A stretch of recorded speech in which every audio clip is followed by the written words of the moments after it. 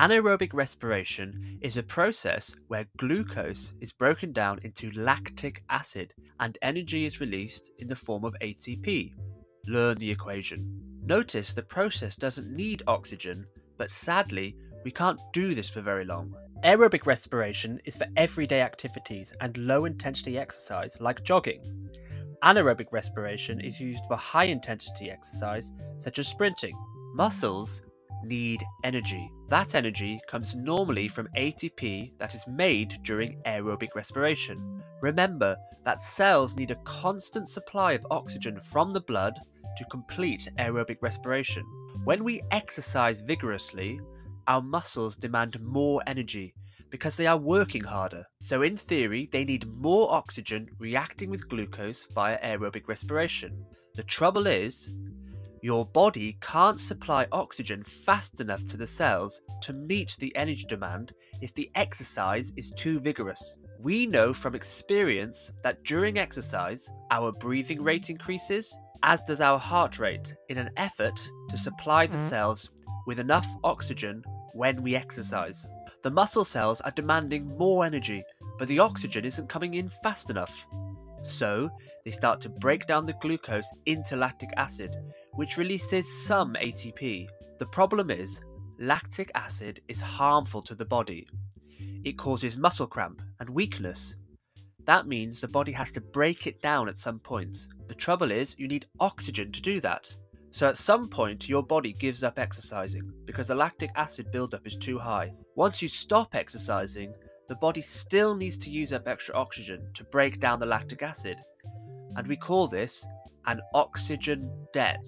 You will have noticed that after a sprint, you are still breathing heavily and your heart rate is high, as the body still needs to get lots of oxygen into the blood and deliver it quickly to the cells. That extra oxygen is needed to break down the lactic acid. For higher tier, you also need to know that anaerobic respiration is less efficient than aerobic respiration because of the incomplete breakdown of glucose.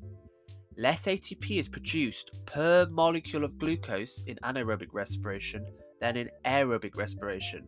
Exam questions on this topic are answered poorly because you normally have to interpret awkward looking data into strong exam friendly answers. This data shows us the heart rate and the lactic acid in blood of an athlete before, during, and after a 200 meter sprint. The race started at the 3 minute mark and lasted around 25 seconds. We need to explain the data using our knowledge of anaerobic respiration and oxygen debt. Prior to the race starting, we can identify what a normal level of lactic acid is on the graph. Then, at the 3 minute mark, as the race starts, we see a rise in lactic acid in the blood. Between 4 minutes and 7 minutes, we see a gradual decline in lactic acid levels in the blood. The athlete had an oxygen debt that lasted 4 minutes, as lactic acid levels in the blood did not return to normal until the 7 minute mark.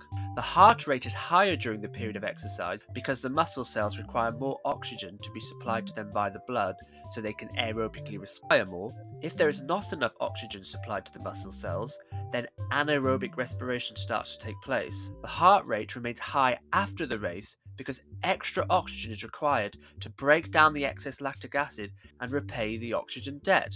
More blood, needs to be supplied to the cells to repay the oxygen debt. The heart rate returns to a resting rate once the lactic acid has been broken down to normal levels. In the next lesson, we will learn about the structure of the respiratory system.